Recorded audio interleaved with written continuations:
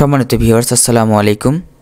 চাকরির ডাক পত্রিকা, বিশে জানুয়ারি দুই হাজার তেইশ।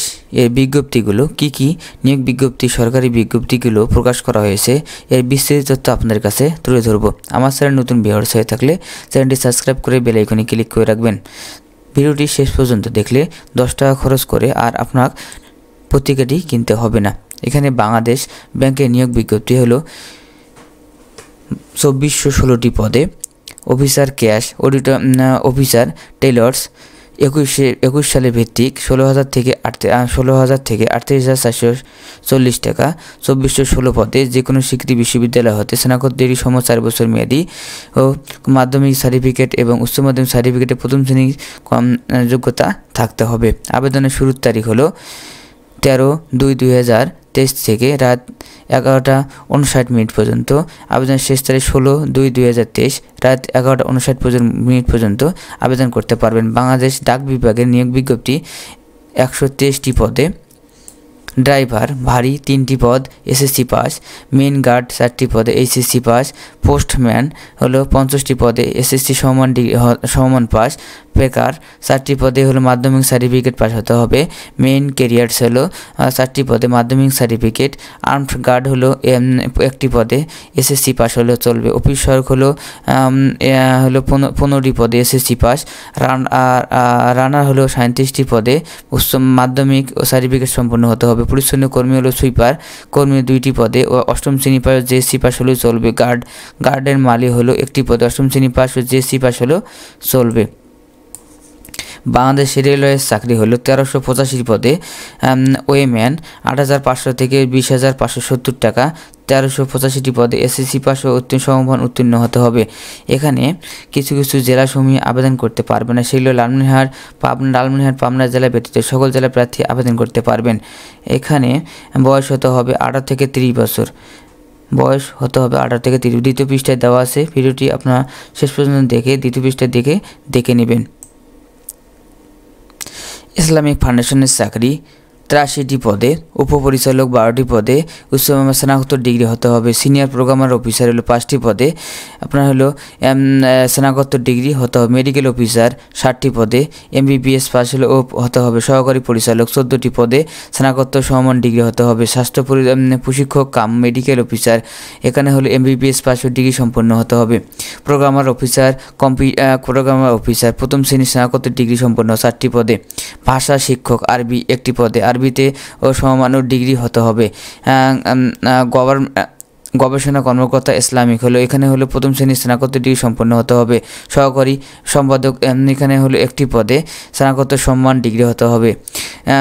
সমাজ বিজ্ঞান প্রশিক্ষক হলো, পশু পাখি পালনে, পশু পাখি পালনের প্রদেশ শ্রেণি স্নাতক চার বছর মেয়াদী ডিপ্লোমা হতে হবে। কাস্টম সেরিক্স অ্যান্ড ম্যানেজমেন্ট কমিশনারেট এখানে হলো তেতাল্লিশটি পদে। ষাটটি বিকাম কম্পিউটার মুদ্রাক্ষী একটি পদে। এসএস, এসএসসি পাস ও সমমান স্নাতকোত্তর ডিগ্রি হতে হবে। উচ্চমান সহকারী চারটি পদে। এখানে হলো স্নাতকোত্তর ডিগ্রি কেশিয়ার হলো একটি পদে স্নাতকোত্তর ডিগ্রি হতে হবে। অফিসের cum computer operator HSC pass গাড়ি চালক হলো চারটি পদে। এলো এখানে জেএসসি এবং ড্রাইভিং বৈধ ড্রাইভিং লাইসেন্স থাকতে। সিপাহী হলো নয়টি পদে। মাধ্যমিক সার্টিফিকেট সম্পূর্ণ উত্তীর্ণ হতে হবে। পর পৃষ্ঠায় দেওয়া আছে ভালো করে। দেখে নেবেন। সোনালী ও জনতা ব্যাংক লিমিটেড এর চারশো আটষট্টিটি পদে অফিসার আইসি আইস আইটি এবং দুই হাজার একুশ সালে ভিত্তিক দশমতম গ্রেড ষোলো হাজার থেকে আটত্রিশ হাজার চারশো চল্লিশ টাকা চারশো আটষট্টি পদে কম, computer science computer science and engineering, computer diploma in technology এই বিষয়ে ডিপ্লোমা কোর্স সম্পন্ন হতে হবে। বাংলাদেশ ব্যাংকের চাকরি হলো, পদে হলো আপনার সহকারী পরিদর্শক পরিকল্পনা। একটি পদে ইঞ্জিনিয়ারিং ও ডিপ্লোমা সম্পন্ন হতে হবে। সহকারী ব্যবস্থাপক উৎপাদন নিমন্ত্রণ একটি পদে ও চার বছর মেয়াদী ও স্নাতকোত্তর ডিগ্রি সম্পন্ন হতে হবে। কারিগরি কর্মকর্তা ও গবেষণা নিয়ন্ত্রণ হলো বিএসসি ইন কেমিক্যাল ইঞ্জিনিয়ারিং ও রসায়ন বিজ্ঞান বিভাগে দ্বিতীয় শ্রেণি সম্পন্ন হতে হবে। অফিসার এখানে তিনটি পদে, যান্ত্রিকবিজ্ঞানে ডিপ্লোমা সম্পন্ন হতে হবে। সহকারী কারিগরি কর্মকর্তা গবেষণা মান ও নিয়ন্ত্রক হলো একটি পদে। রসায়ন ফলিত রসায়ন বিভাগ ডিগ্রি সম্পন্ন হতে হবে। সহকারী অফিসার অভ্যন্তরীণ নিয়ন্ত্রণ হলো অনিয়ন্ত্রণ এবং অফিসার উৎপাদন নিয়ন্ত্রণ হলো দশমতম গ্রেড দুইটি পদে। যে কোনো স্বীকৃতি চার বছর মেয়াদে স্নাতক ডিগ্রি সম্পন্ন হতে হবে। বিভাগীয় কমিশনার রংপুর। এর বিজ্ঞ নিয়োগ বিজ্ঞপ্তি, উপ অপরিদর্শক কর্মকর্তা চারটি পদে স্নাতকোত্তর ডিগ্রি সম্পন্ন।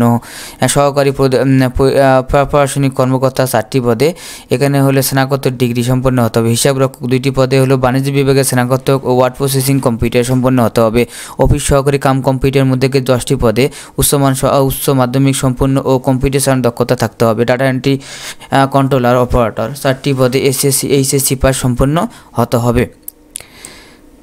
বাংলাদেশে অর্থনৈতিক অঞ্চল কর্তৃপক্ষ এর নিয়োগ বিজ্ঞপ্তি প্রোগ্রামার একটি পদে কম্পিউটার ডিপ্লোমাসধারী হতে হবে। সহকারী ব্যবস্থাপক তেইশটি পদে যে কোনো স্বীকৃতি হতে আপনার হলো স্বীকৃতি বিশ্ববিদ্যালয় হতে স্নাতকোত্তর ডিগ্রি সম্পন্ন হতে হবে।